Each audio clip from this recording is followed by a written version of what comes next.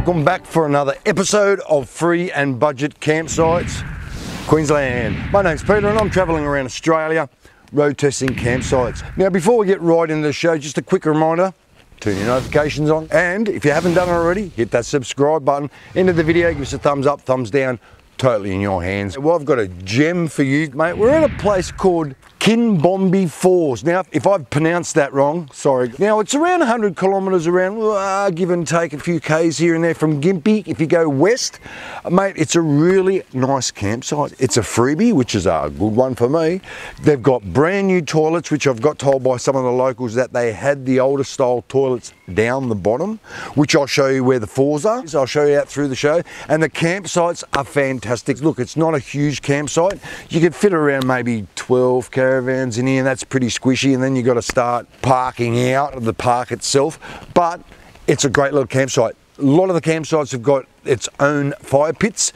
The wood, I reckon you could find some wood around here, but be careful about snakes around here. It is starting to get to the warmer weather and the snakes are awake and they want to bite you. They want, they to, want eat, to eat, you. No, they don't. Look, they're probably more scared of you than uh, you are of them. So just keep out of their way and just keep going.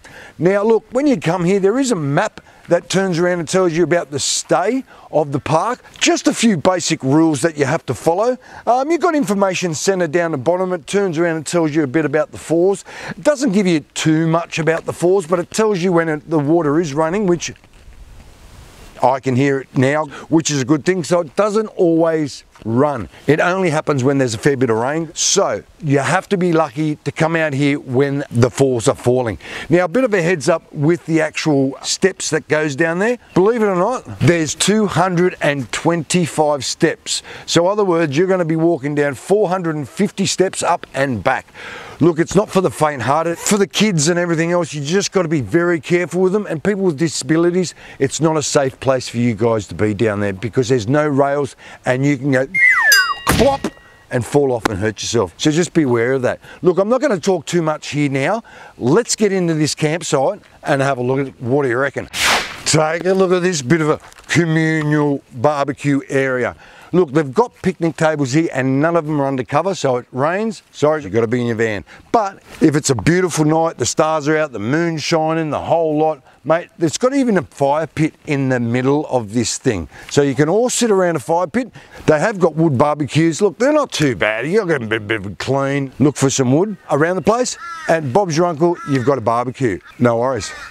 Let's keep looking at these park. There is a few fire pits all around here. Here's one of them here. It's only a half a tin of a 44 gallon drum. There is a few proper ones around here you can actually use, but if you're gonna have a fire, they like you to have it off the ground. Look, I have seen places that have put rocks around and they've just put a fire. So look, if you put it all out and you cover it all up, make it all back the way you found it, I don't think they're worried about it. It's just the wood you gotta go find now. When you turn up, there's plenty of signs around here that turns around and tells you where the path is to the actual lookout and the waterfalls.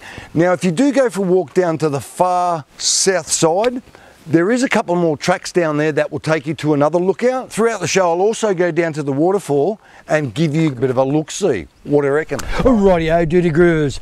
Let's go see these falls. I've just been talking to a couple of locals and they said it's the best that's been at the moment. Let's go have a look at it.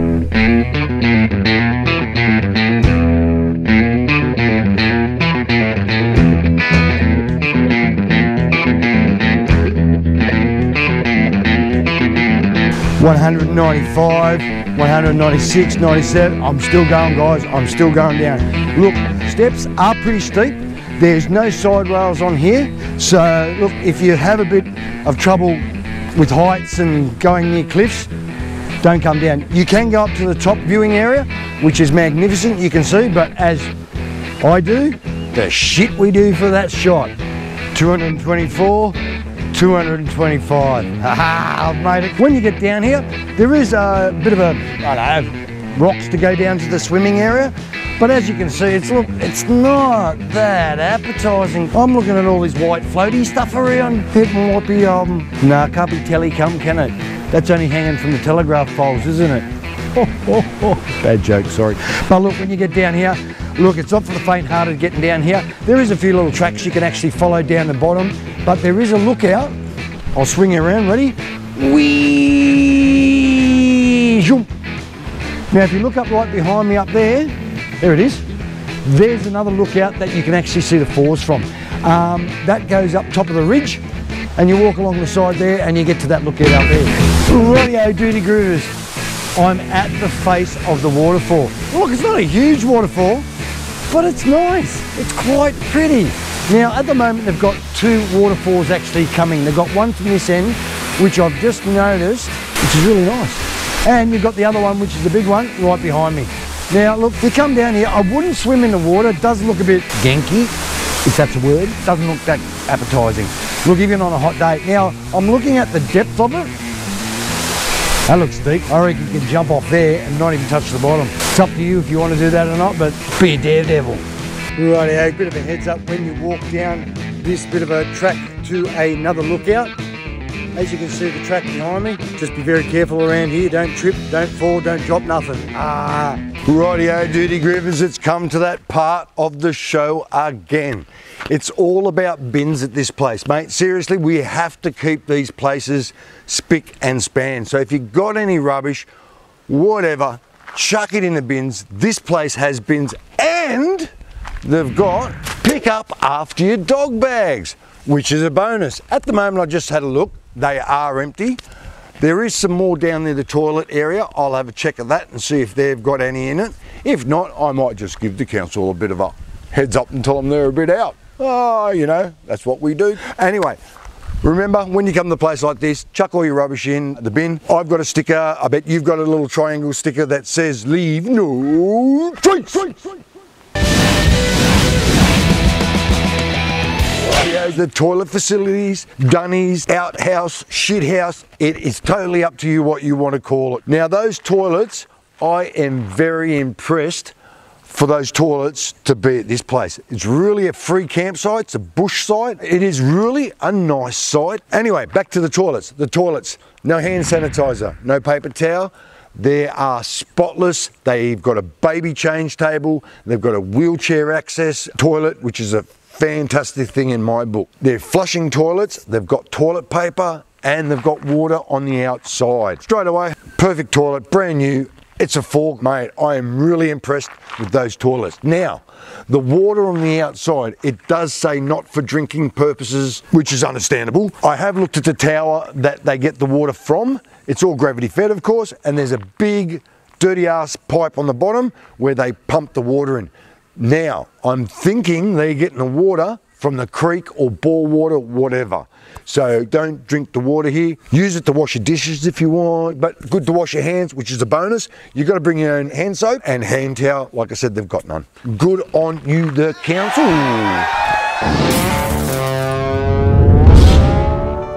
Ba-da-da. Campsites, mate, take a look at this campsite. Look, I'm assuming it, you park your van in there only if you've got a small little van like these guys over beside us. Look, if it is packed, you probably have to do that, but they are big enough to fit, oh, one, two, three, four five vans in there.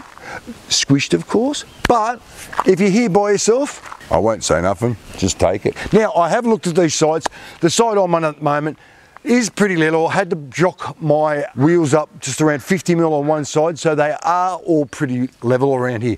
Look, if you drive around to a sweet spot, you might turn around and go, Bob's your uncle, bingo, got one. Turn your fridge on, park up, have a coffee, and go have a look at the falls. This place can handle large rigs. It can handle long rigs, so if you've got a big four drive and a big 28 metre, not 28 metres, 28 feet caravan, look, these things can fit you in here. They are huge, mate. I'm looking at them.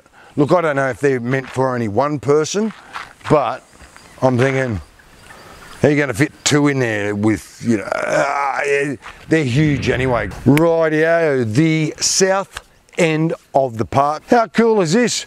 They've got another little picnic area and another little wood barbie here. When you park around this end, instead of walking all the way up there for your own barbecue, look, more than likely you're going to have a BBQ or your own barbecue or a little gas cooker or something. But if you want to cook a barbie on here, go for your life. They've even got a picnic area that you can actually sit on down this end of the park. We're sorry, your call cannot be completed as dialed. The number you have dialed Right as the phone reception. Mate, I'm lucky. I did get a message, believe it or not. Wow!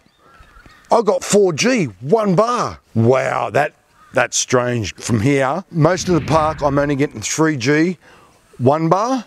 But down this end where I'm parked, 4G! Look, forget about the downloads. The download is going to be non-existent. So don't even think you're going to come out here, upload stuff, download stuff. Eh, eh, not going to happen. I tried a speed test, it didn't even register. I can't even look up Google Maps and find out the distance between here and the next campsite. It just won't load.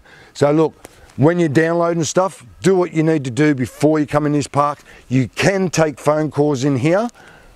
That's the good thing about it. But it's only a 3G area. Wow, I can't really say that because I'm in a 4G area at the moment. Let me have a quick look to see if it's still there. Oh, it's still there, hey? Talk to you soon. A bit of a heads up too. When you go to find a spot, if you want some solar, as you can tell behind me, there are trees everywhere around here. So there's lots of shaded areas. So you really have to pick your spot if you want solar. Now I've picked a spot which has got a big hole in the guts. So I get around between 10 o'clock to around three o'clock sun. Uh, maybe not three o'clock, maybe two o'clock. But I get enough just to trickle in my batteries. So it's all good, no worries. Talk to you soon. Righty, Rightio, I hope you like the campsite at Kinbombi's Falls. If you like, give us a thumbs up, thumbs down, totally in your hands. Don't forget to turn your notifications on and hit that little red button down the bottom. Have a great weekend. I'll talk to you soon.